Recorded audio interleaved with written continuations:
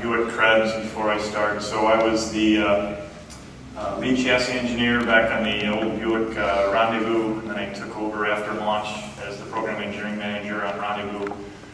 Met several of you uh, on the launch of the Enclave. I was the program engineering manager all the way through the development and launch of the Enclave, and now uh, chief engineer in Regal, so I've been in the, in the Buick family for quite some time. So what I'm going to do is uh, lead you through what's new for the 2014 Regal, the athlete of the, uh, the Buick family. I'm going, to, do it a little different though. I'm going to talk first about the Regal and then uh, go through what's unique about the Regal GS. I'm going to call it the GS just to save some words. Um, I'm going to go pretty quickly and then uh, later throughout the day if you have any questions let me know. Nancy Huber, our program engineering manager is here. Nancy's been on the program longer than I and can answer all your questions if, if I cannot. And we've got some technical experts from Powertrain, from our ride handling area, and then from IntelliLink. So we'll get all your uh, questions answered. So from an exterior perspective, uh, styling is, is really the number one reason for, for purchase uh, for Regal. It's been that way for a number of years. So we made some enhancements, but they're really an evolution. We didn't want to screw a good thing up. So the front end, uh, the focus is trying to make it look a little bit more athletic, a little wider, a little closer to the ground. So new fascia, new waterfall grill, uh, new lamps, uh, halogen on the Regal, and then you can option up to uh, an HID with LED signature lighting. It's uh, got the Q now of the Buick family. From a rear perspective, a new deck lid with an integrated spoiler. When I say integrated, I mean stamped in, so the spoiler's stamped in. New rear fascia. And the fascias are unique between front and rear, unique between Regal and GS. Uh, new LED lamps, and then uh, the crosscar chrome accent that ties the two lamps together and tries to accentuate the wider, lower to the ground stance. Powertrain is a big story for us for 2014. A new uh, standard powertrain is the 2-liter turbo. It's different than the 2-liter turbo that we had in 2013. It provides 259 horsepower, 295 foot-pounds of torque, 2130 from a fuel economy perspective on the front-wheel drive. And that alone represents a pretty significant improvement from the 2013 2-liter turbo. That's 39 additional horsepower and 3 additional city miles per gallon. Um, and then we have all-wheel drive, and I'll talk about all-wheel drive in a second here. Altogether, that uh, the, the, story I think is is the available torque between 1700 and 5500 RPM. 90% of the torque is available, so there's a really really wide torque band that's been optimized uh, for for Regal. We also offer still the e-assist uh, powertrain. It's unchanged from 2013. Provides 25 city, 36 highway for the more fuel efficient uh, focused customer, and both of those Engines are available with the six-speed automatic transmission. From a chassis perspective on Regal, the uh, front suspension is a MacPherson strut. On all-wheel drive, we use our, our HiPer Strut or high performance strut, which uh, improves camber control and reduces torque steer. From a rear suspension perspective, a four-link on the front-wheel drive, and the all-wheel drive gets an H-arm. The H-arm helps us package the, uh, the all-wheel drive system in the rear. Four-wheel disc the e-assist gets 17-inch tires and wheels. The turbo Regal gets 18s, and we happen to have, for appearance reasons, some, some new wheels uh, in 2014 for Regal. So new all-wheel drive, it's a Haldex system. It's completely automatic, on-demand, electronic limited slip rear, uh, which improves both wet traction as you'd, uh, as you'd expect, but also enhances stability and cornering capability by transferring torque to the rear wheels uh, when necessary. It's a pretty sophisticated system as, as most of them out there are right now. It takes different inputs, uh, uh, steering angle, wheel speed, wheel slip, and then optimizes uh, torque and, and traction to uh, keep the vehicle going in the intended direction. From an interior, interior perspective, I'll start at the center stack of the vehicle and then I'll work out more to the left. What's new is uh, we really try to simplify uh, the customer experience, really try to simplify the, the center stack. So there's a new 8-inch touchscreen, which is home to next-gen uh, Buick IntelliLink. And then below that is a simplified radio control setup. I, I think we went from 17 knobs and, and, buttons to 7, so trying to make it more intuitive, easier to use, reach over, there's the volume button. Uh, below that is um, a dual zone climate control system, which is capacitive controls. And then as we move to the left, the cluster in the Regal is, is brand new. It's got a 4.2 inch color screen that interacts with IntelliLink.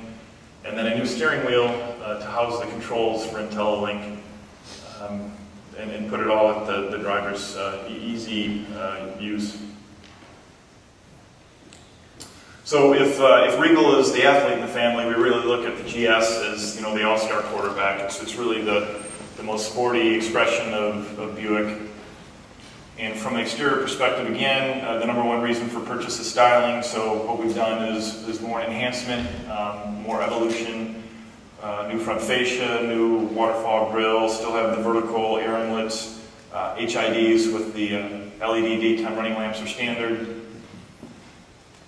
And then in the rear, uh, same deck lid, we've added an additional spoiler on the rear. The, the rear fascia is all brand new and unique, integrated uh, exhaust outlets, uses the same LED tail lamps. That bright chrome strip that uh, connects them is a different finish, but essentially the same appearance, trying to make the vehicle appear a little bit wider and a little lower. And then the same uh, rocker panel extensions as past uh, model GS. From a powertrain perspective, the only engine available in the GS is that turbo. What's different, to try to highlight here, is the, uh, the max torque range goes from 3,000 to 4,000, which is in the Regal, to 2,500 to 4,000, so a wider max torque range. And then also um, on the GS, on the front wheel drive only, you get a six-speed manual.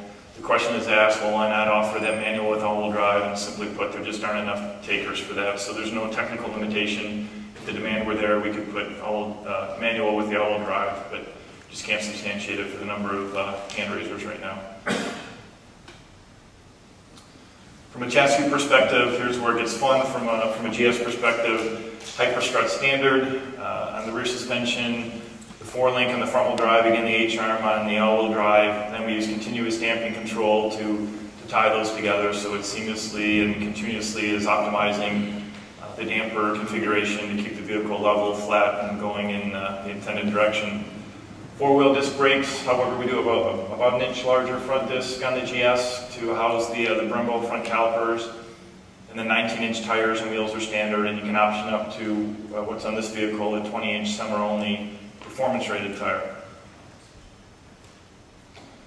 So along with uh, along with the continuous damping control, is a system we call interactive drive control. It's unique to GS. There are three modes. It varies uh, it's really a pretty ingenious, I think, uh, integration of suspension, steering, transmission, and all-wheel drive. I'll blow this chart up so we can talk to this for a second. So touring mode is, is when you get in and don't do anything. Um, if you were to, to touch the sport button, which is at the top of the center stack, it's off on the passenger side, there's a sport button.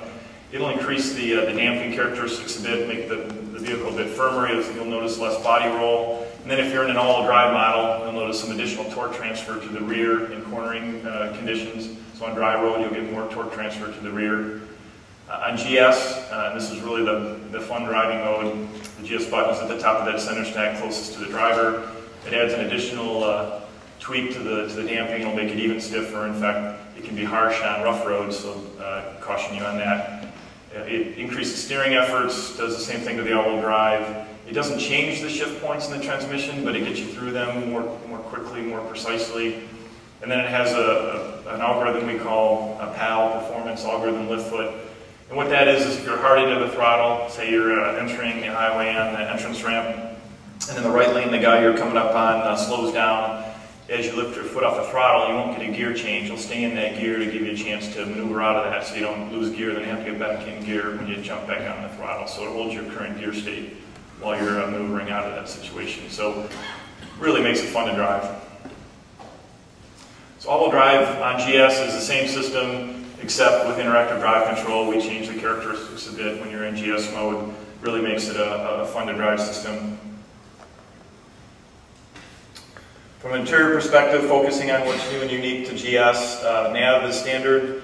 Uh, for 2014, the interior is just all black. Uh, in, in, past years, we had kind of a black uh, gray configuration, so the interior is, is, is absolutely all black for 14. Uh, leather sport seats with good bolster support to keep you firmly planted, and then uh, racing inspired uh, steering wheel flat on the bottom, nice good cross section of the wheel that feels good in your hands while you're driving in GS mode, and then metal sport pedals, so really focused on the driving experience. And then continuing on, um, so talked about the 8-inch color display in the center stack, The GS has a 4 point, or the, the Regal has a 4.2 inch display. The GS gets a big 8 inch display, so two 8 inch color screens in the GS. It's customizable and you can take information back and forth uh, and, and project what you want. There's actually two driving modes or display modes, sport and touring. We have them all set on, uh, on sport because I think it looks a bit cooler. It's got the analog speedometer. If you go into touring, there's a, a digital speedometer that stays at the top at all time. You're interested, we can switch it over, show you how to switch it this afternoon. And all this put together, we think really creates a, a driver-centric uh, orientation. That's an orientation. That, that was our vision. Right, so all-wheel drive, uh, continuous damping control, interactive drive control, a nice comfortable steering wheel, bolster, uh, seat bolster support to keep it firmly planted, and then Buick IntelliLink, easily controllable. So everything is focused on the driver and the driving experience in GS. Now from a safety and packaging perspective, Roger talked a little about it, so I'm going to fly through it. We do have rear camera standard. Um, there are a couple safety packages. One is uh, Driver Confidence One. It's got all the the content that Roger talked about, side blind zone, lane change alert, lane departure warning, forward collision alert, rear cross traffic alert. Um, really useful everyday safety technology that's, that comes together in one package. And then if the customer chooses that, they can then option up if they're interested in full speed range, adaptive cruise control. It is full speed range. It will take it to zero um, in the right conditions. And that comes with collision, uh, collision mitigation braking. So I think you add that together, um, you know, I'm comfortable having a discussion against any of our competitors in this segment with an all-wheel drive GS with that safety package.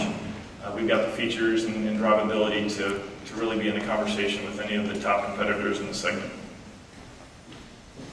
Now from a, uh, this is on iChart, there's uh, copies of your table back on the, on the back tables. What we're trying to communicate here is we've simplified the, uh, the ordering experience for the customer and for the dealer uh, for both Regal and GS. The Regal really only comes in three flavors. The, the leather package, which is the standard content, you can then option up to the Premium 1, which adds some content to that.